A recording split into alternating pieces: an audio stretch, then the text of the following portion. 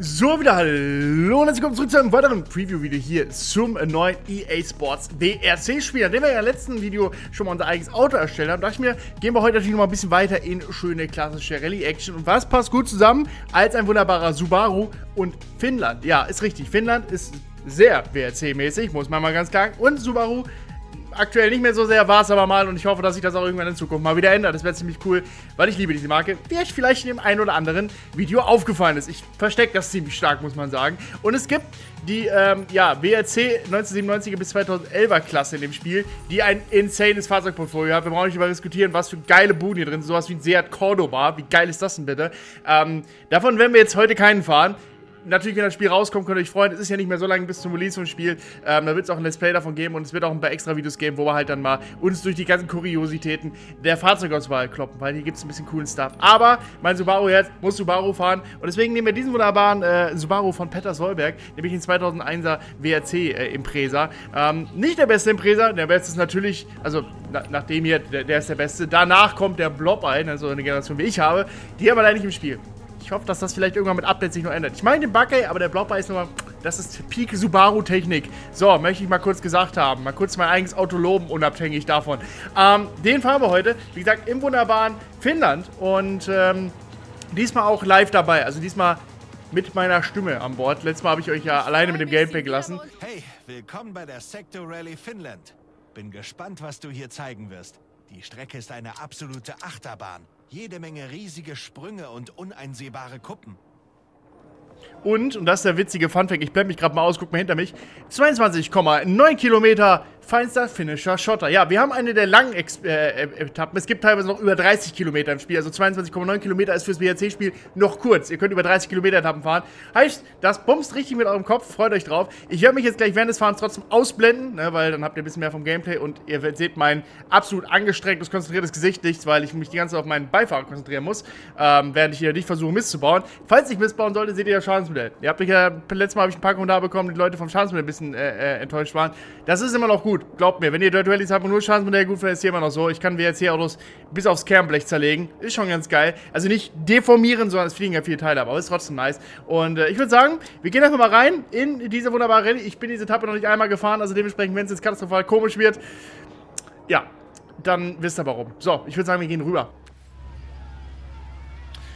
So, dann wollen wir mal. Wie gesagt, ich blende mich aus, weil, wie gesagt, mein Gesicht ist äh, jetzt nicht schön anzusehen. Und, ah ja, kurzer Hinweis. Es ist nicht Maximum Grafikeinstellung, weil ja auch ein paar Kommentare kamen. Wir sind auf hoch. Ähm, das ist noch eine Pre-Release-Version, die ein paar Wochen alt ist. Performance ist mittlerweile aber optimierter. Ähm, deswegen muss man da ein bisschen reduzieren, damit wir natürlich eine Steady Framerate haben, weil das ist am wichtigsten. So. So, dann gucken wir mal, was der Subi so kann hier im wunderbaren Finnland. Der Rallye mit den, ich glaube, meisten Sprüngen ist wahrscheinlich. Also ich glaube, dafür ist Finnland ja mit bekannt, dass man ein bisschen auf abhebt. So, jetzt halte ich mal ein bisschen meine Backe und konzentriere mich ein bisschen aufs Rallye fahren. Sofort 6 rechts, leicht links. 30, 1 rechts und 1 links kurz und 6 links. Geht schon gut los. Ja, machen wir mal ganz kurz das Seitenteil ein bisschen begradigt. Das muss so. Fitment des hinten links ist auf jeden Fall besser. Felge steht jetzt ein bisschen weiter außen, ungewollt. Naja, was soll's. Du, du, du, du, du, du, du, du, du. Ja, ja, kleiner Sprung. Kleine Sprünge sind in Finnland trotzdem schon große Sprünge, sind doch mal ehrlich. Finnland hat einfach ein anderes Maß von groß. Hahaha. Ha, ha. Das war knappi. Kuppe. Und späte 2 links. 100. 4 links kurz und 4 rechts. In 4 rechts kurz. 60. 4 rechts. 50. Ah, ich hab ein bisschen Schiss, hier schnell durchzuballern, weil hier echt viele Objekte neben der Strecke sind. Mein Gott, Digga. Huh, huh, huh. Oh. Ja. So viel zum Thema Schadensmodell. Möchtest du mir nicht sagen, dass wir den Reifen vielleicht mal wechseln sollten? Kann man das nicht? Man müsste doch eigentlich einen Reifen wechseln können, oder? Ah ja, können wir. Okay, wir wechseln mal ganz kurz einen Reifen. Das kostet natürlich eine Strafe, aber ich zeige euch trotzdem mal das System. Zack. Ihr könnt jederzeit während der Rallye euren Reifen reparieren. Kostet 90 Sekunden Strafe, also die Etappe ist damit natürlich verloren. In der Meisterschaft brauchen wir nicht mehr diskutieren. Ähm, aber die Wahrscheinlichkeit, dass ihr den Wagen noch mehr zerlegt mit einem platten Reifen, ist gegeben. Ich drück's mal so rum. Aus. Aber auch schön, dass ich nur die linke Seite des Fahrzeugs immer beacker. Stoßstange fängt schon an runterzuhellen. Unsere Rückleuchte ist ein bisschen beschädigt. Platten hatten wir auch schon. Die klassische Finnland-Experience, würde ich mal behaupten. 60. Komm, komm, komm, komm, komm, nicht weit raus. Komm, rüber da jetzt. Und leicht links. In Kuppe 50. Kleiner Sprung 60. Ich hab vor Sprüngen echt Angst, bin ich ehrlich. Macht auf 6. Lang 120. Oh, bisschen mal drüber. Nein, nein, sorry, ich will euch nicht gefährden. Alles gut, machen Sie sich keine Sorgen. Der Subaru, der straight auf euch zugefahren ist. Ist alles... Im Rahmen. Kuppe, innen 50. Leicht links über Kuppe. Ah, da, da, das war zu schnell. Oh, das ist zu schnell. Haha. Und leicht rechts. Bremsen. Und drei links kurz 30. Kuppe 80. Rallye, wo jede, jede Kurve so eine Misserfahrung ist. 60. Hier haben wir einen Innenraum, damit ihr auch da ein bisschen Klang-Experience habt. Drei links. Macht zu. Und leicht rechts. 100. Lange Kuppe. Vor allem im Innenraum, finde ich, hört man sehr, sehr schön den Schotter und die Untergründe, die ans Auto knallen. Das finde ich ganz geil umgesetzt. Bremsen. Bremsen? Warum bremsen? Früh. 2 rechts kurz. Und If in doubt, flat out, sagte mal ein äh, bekannter Rallye-Fahrer. Ne? Wisst ihr, wie ich meine? Der Mann hatte natürlich recht, der hat die Truth gespoken. 4 links kurz. Puh. In 5 rechts. Wir haben gefühlt nicht mal ein Drittel dieser Etappe rum, ne? Und die Karre sieht jetzt schon aus, hätte ich In 5 links. schwerwiegende Sachen damit getan. Sprung. 40. 5 rechts über Und falls sich jemand fragt, warum klingt der Subaru nicht so boxermäßig, das tun die Rallye-Autos im Allgemeinen bei den Sugis nicht so sehr. Da ist ja leicht andere Technik gefahren und sobald der Krümmer nicht mehr ungleich ist, ist da auch nicht mehr so viel geblobber, möchte ich euch ganz kurz sagen. Deswegen ähm, klingen auch japanische STIs nicht so, wie ihr es kennt, sondern die haben halt den gleichen Krümmer und dann ist das Bobbern deutlich reduziert. Weil es kommt hauptsächlich vom Krümmer. In Sprung 70. Verdeckt. 4 rechts kurz. In leicht links. Und früh 6 rechts. Sehr schön. Uiuiuiuiuiuiui, nicht auf die Seite legen, nicht aufs Dach legen, das muss nicht sein. Also du, das hatten wir letzte Folge, wir müssen das nicht ein zweites Mal machen. Dann wäre die Statistik ein bisschen hardcore. Rechts über Kuppe. In Welle. 5 Geht aber eher bergab, Junge, Junge. 3 rechts kurz. Kriegt man noch schön Schwung drauf. Eine Sache, die ich eindeutig nicht möchte. Ich möchte die... Ha! Nicht schnell werden. Ja, okay. Einmal ganz kurz hier ein bisschen die Kiesgrube ein bisschen genauer angeschaut. Alles gut, meine Leute. Die, die Arbeitssicherheit sieht gewährleistet aus. Ich mach da mal weiter, ne? Schönen Tag noch. So. 6 rechts. Und leicht links über Kuppe. 30. Haben sogar aufgeholt. Aber gut, ich spiele auch auf niedrigen Schwierigkeitsgrad. Das muss man fairerweise sagen. 30. Das soll jetzt nicht als habe ich einen krassen Skill. Nein, habe ich eindeutig nicht. Und 5 links. Wo ist denn der Sprung? Hat der hier? 50. Kuppe 70. Uh, uh, uh, Sprung. Ja, sehr schön. Sprung. In sofort 5 rechts. 60. 5 links. Schön vorher ein bisschen ansetzen. In, den, in die Kurve schon reinspringen. Man muss sich ja schon ein bisschen vorplatzieren. Deswegen man seinen Co-Kommentator braucht, weil. Äh, Co-Kommentator. Co- Co-Pilot. Der einem da ein bisschen erzählt, Junge, da kommt ein Sprung, danach direkt eine Kurve, vielleicht jumpst du mal ein bisschen quer da rein. Weißt du, wie ich meine? Zu 4. 40. Und dann mache ich das nicht und dann überschlagen wir uns. Und dann beschwere ich mich natürlich trotzdem bei meinem Co-Pilot, sind wir fairerweise ehrlich. Natürlich, irgendwer muss ja dafür ankommen. Leicht rechts. 80. Uha, okay, das Schild wäre ein bisschen massiver gewesen, deswegen nehmen wir es mal nicht mit. Links über Kuppe. Wir lassen das mal außen vor. In leicht links. Bremsen. 40. Früh 1 rechts. 90. Hier, ah, ja. Schön hier rum, wunderbar. 40. 3 rechts über Kuppe. 30. Huh, huh, huh, huh, huh, hier ist eine Böschung, da soll ich nicht hochfahren. Das endet immer meist in einem doofen Überschlag. 40. Das fährt sich aber so, so gut mit Controller. 50. Also, ich habe Net Rally 2.0 ja auch recht viel gespielt. Zu 40. Aber da ich ja ein Controller-Boy bin, ich habe zwar auch ein Lenkrad, aber ich fühle mich am Controller einfach wohler, sagen wir mal, wie das ist. 70. War ich ja natürlich so ein bisschen abgeturnt, weil Dirt Rally 2.0 jetzt nicht unbedingt Con- Controller-affin ist. Und äh, ich weiß nicht, was sie hier an der Fahrweise geändert haben, aber es spielt sich mit Controller wirklich insane gut. Also ich kette... Oh! Ah, ja, jetzt stehe ich natürlich wunderbar zwischen den Bäumen. Komme ich überhaupt weg? Ja, das kann sich jetzt ein bisschen... Verdammt, Alter. Ist ja auch eine 10 von 10 eingeparkt hier. Äh, jetzt bin ich rum. Und 6 rechts über Kuppe. Lang.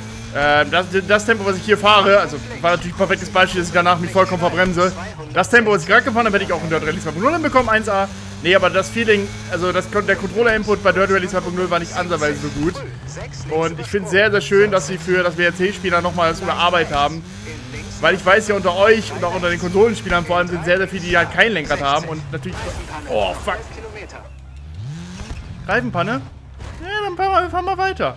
Habe ich noch einen Ersatzreifen? Nee, habe ich nicht, ne? Haha, wir haben keinen Ersatzreifen mehr. Stimmt, man hat ja nur einen. Noch elf Kilometer. Was soll passieren? Scheiße. Ähm, dementsprechend ist es natürlich schön, dass das Spiel, was dann mit der natürlich ausgestattet ist, wo halt viel, Fanbase recht groß ist, dann auch so ausgestattet ist, dass auch Leute, die halt jetzt nicht die krassesten Simracer der Welt sind, trotzdem Spaß an dem Spiel haben können. Und das Spiel trotzdem natürlich einen Simulationsaspekt hat. Es ist trotzdem tricky, ihr merkt es. Aber man kann trotzdem mit Fahrheben und so trotzdem einen recht guten Einstieg spielen, was ich sehr schön finde. Ohne dass es halt ein kompletter Arcade-Abklatsch der WRC-Lizenz wird. Wo man trotzdem merkt, dass 60. ja, die Dirt Rallye Physik hier drunter arbeitet. Ja, ja, die nächsten 11 Kilometer werden jetzt schön balsam für eure Ohren, wenn mein, meine Alufelge langsam aber sicher den Schotter vor sich her schiebt. Bin ich froh, dass wir Allrad haben. Mit Heckantrieb oder von der jetzt scheiße. Macht zu. 5. Achtung und 3 links. Wartet ab, wenn ich hier trotzdem mit dem Ding jetzt hier schnell durchprügel. Das wird, das wird's, das wird's. Oh, oh, oh, oh, oh, oh, oh. Aber ihr wollt das Schadensmittel ja sehen. So, da habt das. Da habt ihr euer Schadensmittel. Ich hoffe, ihr seid jetzt happy. 6 links und 4 rechts kurz. Über Kuppel 70. 4 Ah. zu. Über. Beim Bremsmanöver sind natürlich super geil, wenn man vorne noch einen Reifen hat. Da ist ein Gripniveau so eine 10 von 10. 60. Na, komm jetzt. Kleine Kuppel 90. Bleibt natürlich trotzdem voll am, voll am Gas, ne? Colin McRae hatte ja schon recht. Auf Gas gehen kann ich auch noch später. In links übersprungen. 100. Links über Kuppel. Und früh 4 rechts. Macht zu. 70. Weil you- the Baro all-wheel drive, all drive. Ja, wie ich ja sagte, ist die Bremse halt überhaupt nicht. Ja, danke für nix. Die Bremse halt nicht mehr so aktiv am Arbeiten, wenn man vorne, wie gesagt, auf Metall bremst. Das hat nicht so, ein, so eine krasse Verzögerungswirkung. Und 5 links. Macht Weil die Bremse packt natürlich. Aber 6 rechts. ja, der Schotter und die Metallkante werden sich nicht einig über ein entspanntes Gripniveau. Huh, huh, huh, huh, huh, Nicht weiter raus. Ich zerleg die Karre noch rein, weil ich sage euch, das wird hier eine richtig unangenehme Folge. Letztes Mal auch, glaube ich, gut Lukas fährt. Richtig krasser Skill. 80. Ja, da waren noch 20 Jahre Training vorher gefühlt. Mit 20 Mal diese Etappe, genau bin ich nicht, aber huh, huh, ich komme nicht zum Stehen. Es ist wirklich scheiße. 120. Da muss mehr Full Send kommen. Leicht rechts. Macht auf. Sehr lang. Über Kuppel. In 6 rechts. Über Ah. Kuppel. Aus. 150. 5 links. Macht auf. Halblang. Und 6 links. Geräuschkulisse ist auch wirklich richtig balsam. Das ist richtig angenehm. 120. Stellt einem gar nicht die Nackenhaare auf. 5 rechts. Kurz über Kuppel. In 6 links. In 6 rechts. Macht zu. 5. Huh, huh, huh, huh, huh, huh, huh, huh. Das ist ein ganz schön schneller Abschnitt. Perfekt, um da mit drei Reifen durchzuschallern. Eieieiei. Ah, 4 rechts scharf. Nicht oh Gott. Alles gut. Ja, ja, mach ich nicht. Mach dir mal keinen Stress. 100. Nee, aber dafür, dass wir gerade auf Reifen fahren, bin ich erstaunlich noch mit mir selbst zufrieden. Also das Ding lenkt absolut indirekt und über die Bremse müssen wir nicht reden. Und 6 rechts. Uh. 70. Ja, ja, Bro, du fängst das Schild schon, ne? Bist ein starker bist du. Super machst du das. Weiter geht's. Schönen Tag noch. 2 links kurz. Und leicht rechts. Oh, komm. Ich muss die Handbremse bei links kommen, halt wirklich hart rippen, weil die Kiste halt nicht einlenken will. Ah, ah, komm. Und 4 rechts. 110. Uiuiui. Boah, ist das ein Ritt auf der Kanonenkugel. Scharf links. 30. 5 rechts. Ah, nein, nicht. Nicht geradeaus lenken. Scheiß blöde Stahlfelge. Äh, Alufelge, was auch immer. 3 links. Felge halt. Bin ein größerer Freund von Reifen auf meinen Felgen. 4 links. Man muss auch sagen, ich habe auch den Extremschaden an. Also so ein Reifenschaden passiert auf dem Schadensmodell natürlich höher. Äh, schneller. 70. Man kann auch normalen Schaden aktivieren, dann hast du nicht so schnell einen Reifenschaden. Aber 40. naja, ich finde es halt interessant. Das gehört ja schon dazu zur Rallye, dass man seinen Reifen mal fetzt, ne? Wisst ihr, was ich meine? Rechts über Kuppel. 60. Kleiner Fehler und da ist der Reifen direkt mal schlitzi-schlitzi, ne? Wisst ihr? Mittlerweile verliere ich leider Zeit. Langsam. 6 rechts. Und 4 rechts. In Abzweigung scharf links. Ja, ja, Kurve geschnitten, komm. 5 links. 50. Komm, lenk ein. Man muss noch genug lenken, dann kriegt man den Reifen vorne hochgehoben. Dann hat die Felge nichts zu melden. Ich muss nur den bisschen den passenden Winkel fahren. Dann fahren wir auf drei Reifen. Oh, komm, komm, komm, rum, rum, rum, rum. Und Welle 30. 3 rechts kurz. In 4 links. Macht zu. Über Kuppel. und rechts über Kuppel 60. Abzweigung, weite Kehre rechts. Obwohl, ist Rechtskurve, die krieg ich hin. 90. Kuppel 80. Krieg doch keinen Grip, komm jetzt! Früh, 5 links übersprungen. In Summe Leider kann die Felge nicht ganz abfliegen. Wäre natürlich cool, wenn die sich irgendwann ganz zerlegen würde, aber sind wir ehrlich, was Tempo, Tempo ich fahre, müsste ich irgendwann noch das Alu ein bisschen klein verteilen. Mitte 4 links. 30. Aber nicht desto trotz. Oh! Oh! rechts, 50. Eieieiei. Ich bin nicht letzter, möchte ich betonen. Ich weiß nicht, was bei dem anderen Drop passiert ist, aber anscheinend nichts Gutes. 5 links scharf. Über Kuppel 30. 5 rechts. In 6 links. 40. Ich hätte den, den linken Reifen auch einfach kaputt lassen sollen. Das wäre schön, das wäre echt geil geworden. Dann hätte sich das ausgeglichen, vermutlich. Ich glaube, so funktionieren Autos. Kuppel 30.